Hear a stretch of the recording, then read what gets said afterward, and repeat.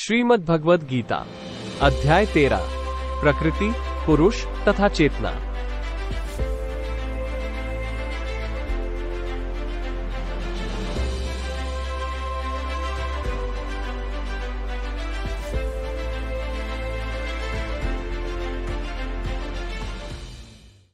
भक्तगणों, आज के इस वीडियो में हम सुनेंगे भगवान कृष्ण के मुख से निकली अमृतवाणी श्रीमद् भगवद गीता का अध्याय तेरह यथारूप में।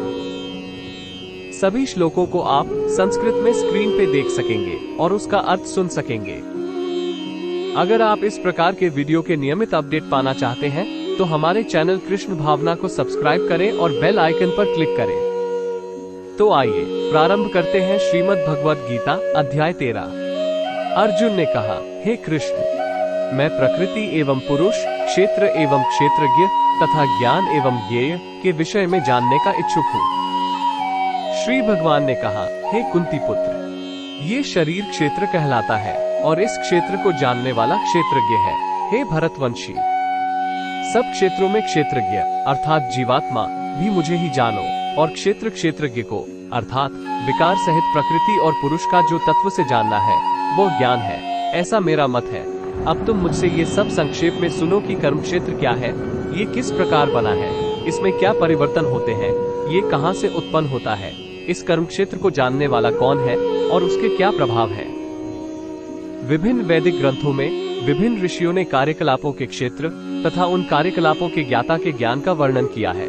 इसे विशेष रूप से वेदांत सूत्र में कार्य कारण के समस्त तर्क समेत प्रस्तुत किया गया है।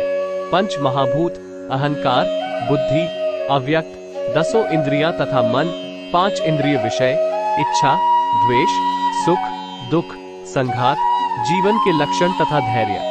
इन सबको संक्षेप में कर्म का क्षेत्र तथा उसकी अंत क्रियाएँ कहा जाता है।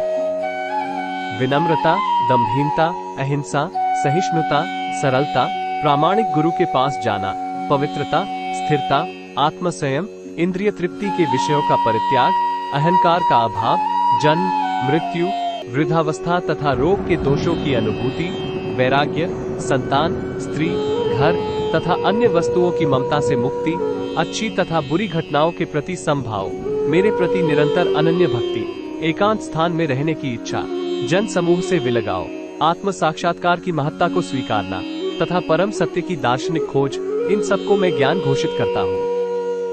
और इनके अतिरिक्त जो भी है, वो सब अज्ञान है।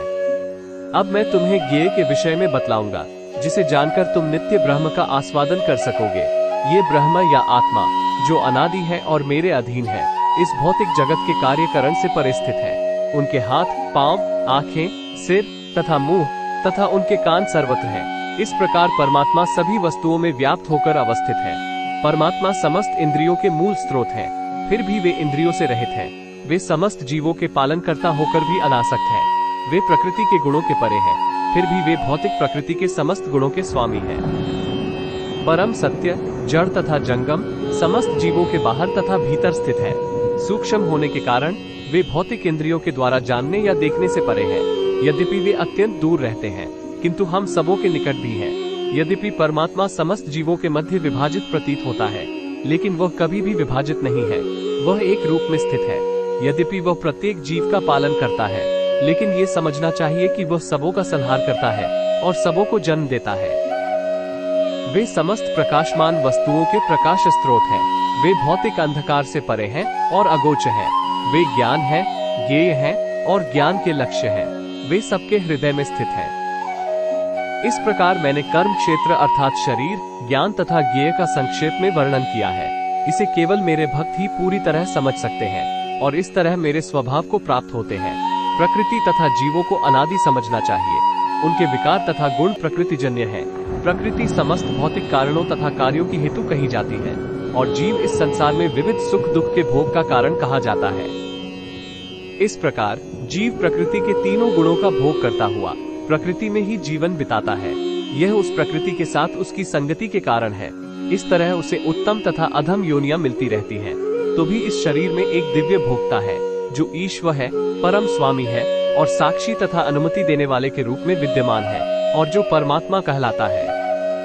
जो व्यक्ति प्रकृति, जीव तथा प्रकृति के गुणों की अंतक्रिया से संबंधित इस विचारधारा को समझ लेता है, उसे मुक्ति की प्राप्ति सुनिश्चित है।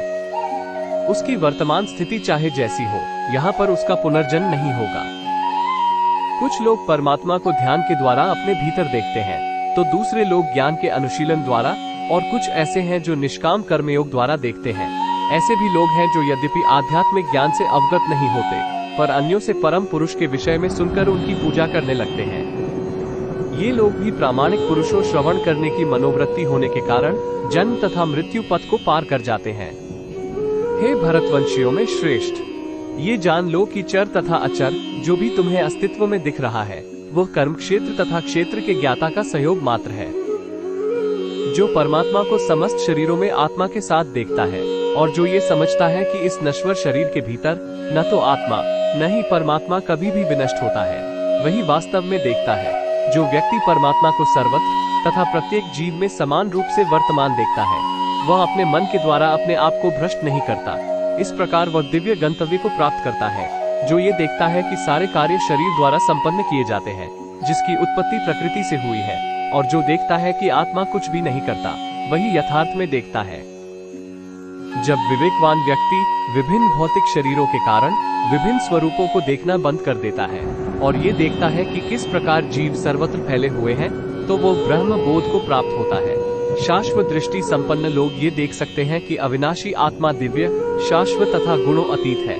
हे अर्जुन! भौतिक शरीर के साथ संपर्क होते हुए भी आत्मा न तो कुछ करता है और न लिप्त होता है। यद्यपि आकाश सर्वव्यापी है किंतु अपनी सूक्ष्म प्रकृति के कारण किसी वस्तु से लिप्त नहीं होता। इसी तरह ब्रह्म दृष्टि में स्थित आत्मा शरीर में स्थित रहते हुए भी शरीर से लिप्त नहीं होता।